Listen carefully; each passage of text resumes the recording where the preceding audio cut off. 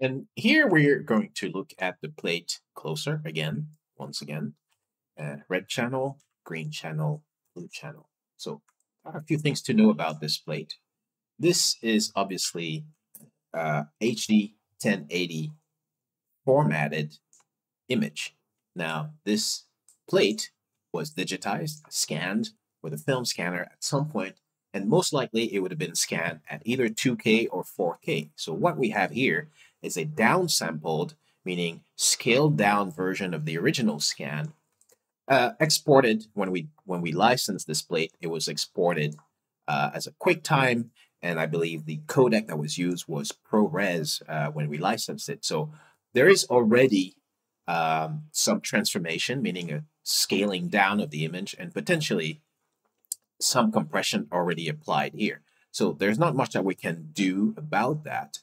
Uh, and the reason I say that is that the nature of the noise or the grain uh, is such that to from experience I can say that it's not it does look like film grain, but there's something else going on here, which looks a little bit like some kind of uh, either compression artifacts or something like that. So the noise is looking very, very sharp and almost kind of one pixel like at a time, which means that it's slightly different than film grain. I'm noticing some electronic banding noise or, you know, banding horizontal bends every now and then, uh, which to me uh, means that there might be some compression applied to this, but it's not the end of the world. What we need to do is to analyze the existing structure of that noise uh, slash grain and apply it to our CG. So FYI, there is a distinction uh, between what we call noise and what we call grain. Noise, typically, when we say the noise, that means that we're talking about a an electronic response at the sensor level uh, when you're converting the analog signal to digital. That usually happens uh, either in the circuitry of the uh, that lies around the uh, sensor, around the chip, or on more modern uh, sensors, that conversion happens on the chip itself. Nevertheless, there is a certain amount of noise, electronic noise that comes with that conversion process, and it translates itself as noise visible in the image because we're amplifying a particular signal. And by doing this amplification, we generate a bit of electronic noise, which we, we see as noise, as little points uh, in the image.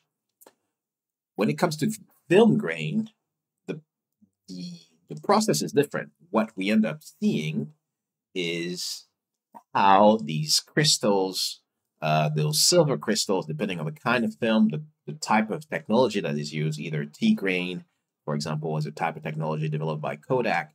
When the film is developed, uh, the, the structure, the crystalline structure inside the, the film, inside the uh, emulsion, uh, registers as little clumps of silver of different densities and different responses to light. The red, green and blue channels would look slightly different in terms of what the noise or the grain looks like. So even though you end up with something that looks like spotty little patterns in your image, whether we're talking about an electronic image or a film image, the result or the actual the process that generates this uh, this noise or grain is obviously different.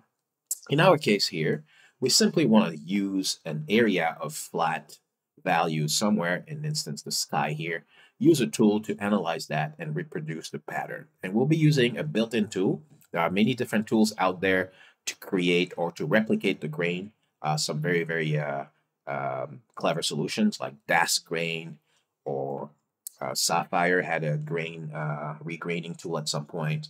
Uh, there are many different ways of doing that.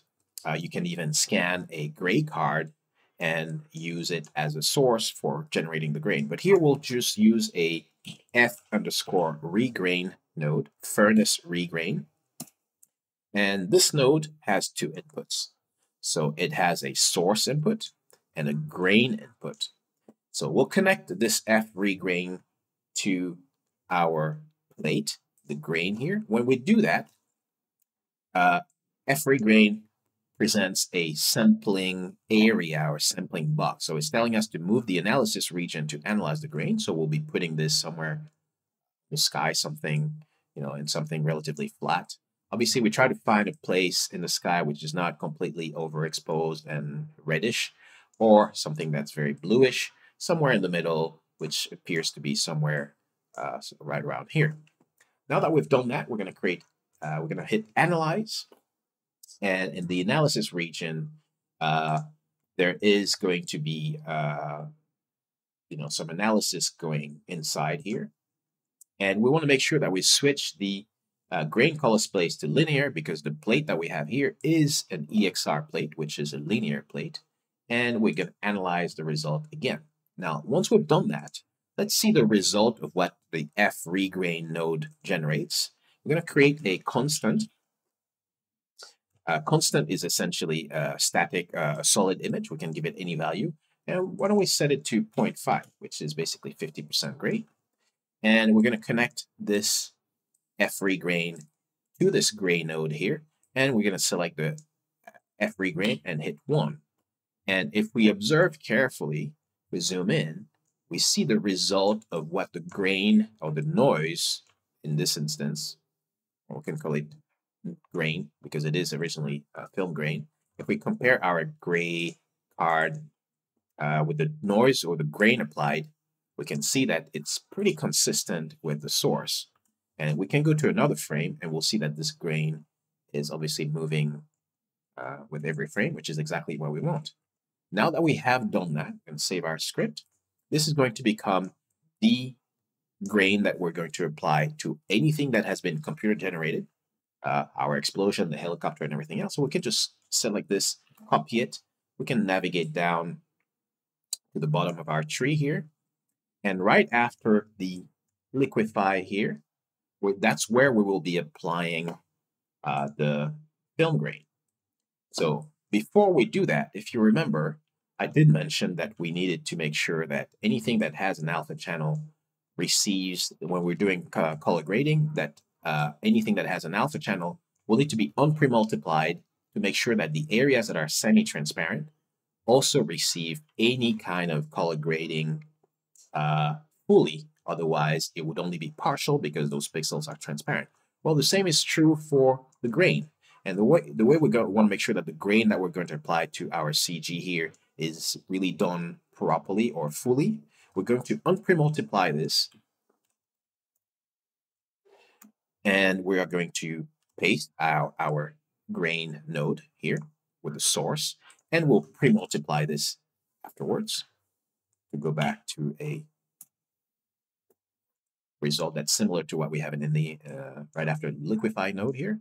And if we observe very carefully, I'm going to zoom into the image. If we look at the liquify, and if we look at the result here, there's a bit of noise, a little bit of a grain uh, structure. I'm not sure how well in this recording it's visible, but if you are following along inside of Nuke, you will notice that the image has a little bit of noise uh, visible inside of it. Now, just to make sure that the analysis here technically the grain, the regrain node should uh, store this information and replicate the noise. But here you can see if we double click on it, it's telling us uh, analyze again. So to make sure that we have uh, the grain node sourcing the original grain pattern properly, we'll just copy and paste the plate node next to it. And we'll make sure that it's there. In case you need to readjust the grain, you can have that analysis be done for you, but you need to make sure that the plate is connected to the grain input here. So let's go back inside of this regrain. Let's see the final result. We select this merge node and hit one and double click on the F regrain. And we are going to click on analyze again once more. And if we look very carefully now, you can see that our CG, anything that is uh, helicopter, fire, and everything, the noise that is applied to it now, it's very consistent with the noise that we see in the plate, the grain that we see in the plate. And if we feel like this is maybe a little bit too much, we can always go back and, you know, tweak the results here. Grain amount is the slider upon which we uh, we can act to reduce the overall amount of grain if we wanted to. So here by default it's at one. We can just bring it down a little bit by about 20% just to make sure that we're not overdoing it. Uh, because what happens is that this element here, the CG element, being semi-transparent, if we apply the grain to it, the underlying structure, the plate behind the semi-transparent areas, they also have grain. So you don't want to overlay grain on top of grain. So this is why you can reduce slightly the power or how much grain you're applying to, to your CG. But as you're making this change, you can inspect things around, look around, and make sure that things are pretty consistent. And you'll see that there is a very, very nice, seamless uh, way of combining the CG with the plate by using grade as a grain as a way to uh, kind of glue to glue things together. And you will see that the liquify node probably needs a little bit more of a uh, readjustment here, here and there. So feel free to do that until you get the result that you want. And you may even want to possibly even blur this. I think this will soften some of the brush strokes and some of the effect overall, but you don't want to overdo that too much, otherwise everything else is going to shift. So uh, have at it, guys. Uh, this is almost the final, final step. Of course, the result of that, of all the work that we've done, we got to do two or three more things. Here, uh, if you remember, we're organizing, keeping things very clear, very neatly labeled. And I think we should still do that and add some backdrops uh, to make sure that everything else here makes sense. If we reopen the script or pass it to somebody else or have somebody take over, we want to make sure that they understand what's going on here. So we'll put a backdrop here. This one, we'll call it distortion. So the backdrop doesn't need to be so huge, just enough to label everything properly uh, or to include everything. We can call this distortion. And here we are going to bring the rest of the nodes down like so. And then a little bit more space on the last few ones at the bottom here.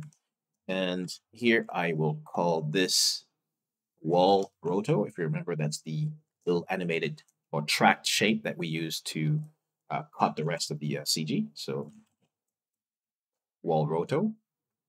Uh, and here we'll call that the liquify.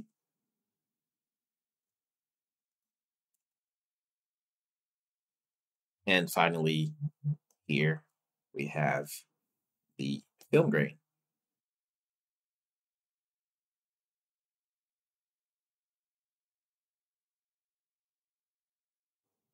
Okay, so make sure you save your script.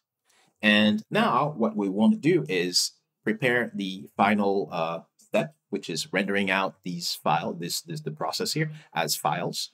And for that, we'll hit W for write. We'll connect this here, write node, to our to the rest of our tree. And let's take a look how we're going to call things. So let's click on the file, the folder at the very end of the the field that says file. We'll click on that. And let's go to BHK10 and we'll go to render, comp. So I already have that rendered, pre-rendered, but let's create another version. Let's call it, so we are now version two. Uh, as you can see, the name of the script is comp underscore v002 if you look at the very top of your screen. So this will be the name of the folder Okay, so we can select that, copy it. Right after the slash, control V again, and the syntax to write out a sequential file, uh, uh, uh, a sequential file sequence uh, is to type dot percent zero four D dot EXR. There's another syntax you can use is pound, pound, pound, pound dot EXR. Both will work. I tend to use the old school 04D C syntax, uh, 0% 04D. And you will see if we zoom in, as we move along on the timeline, the file, the numbering for the file will also change.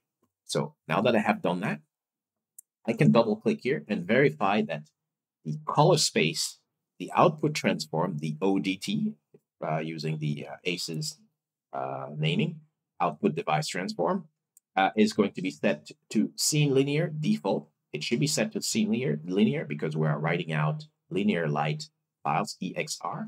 And we also want to make sure that create directory is active because if you remember in the syntax that we typed, we have the render, so the shot bhk10, render, comp, and inside of that, we have another subdirectory called bhk comp v002. And inside of this directory, we have the files that we're writing out. So this particular directory, comp v002, has not been created yet. We just typed its, typed its, its name, but the directory itself has not been created. So Nuke can create the directory for you at render time. And to enable that, we want to make sure that we click on create directories here. And now we're ready to hit render. And we want to make sure that this render uh, frame range is set to global. And if you have that not showing the write uh, frame range, that means that in your render or project settings, you can go hit cancel here, click on the gray area of your node graph, hit S. We look at our frame range here, we have to make sure that we're using the correct one, which is 1280 to 1500. We can even say lock range. Save your script again, double click on the right node and hit render again. And this time in global, it will take the correct frame range. So you can launch the render locally on your machine, and which I'm about to do now. And you'll see you have about 220 frames to render. Uh, I'm working on the mid-class, you know, previous generation machine, so it's not exceedingly fast, but it's not too slow either. Depending on the hardware that you're running on, uh, this will be more or you know more or less fast. Uh, and at the end of the, those four minutes of render time, you will have a fully uh, rendered file sequence, which you can load back into Nuke and inspect. So we'll do this. I'll let this run. And once it's done, we'll load the final result here.